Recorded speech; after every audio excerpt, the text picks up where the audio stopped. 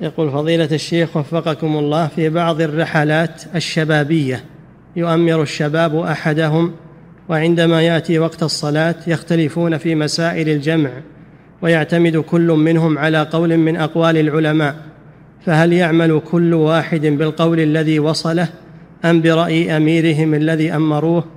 يعملون بالقول الراجح القول الراجح بالدليل ولا يختلفون لا يختلفون ويأخذون برأي أعلمهم وأفقههم. إذا كان معهم واحد أفقه منهم يأخذون برأيه ما بصيرين كلهم سواء يصير بعضهم أفقه من بعض. نعم. وإلا الحمد لله اليوم الاتصالات سهلة. يتصلون بالجوال على أحد العلماء ويسألون كأنه حاضر معهم. نعم.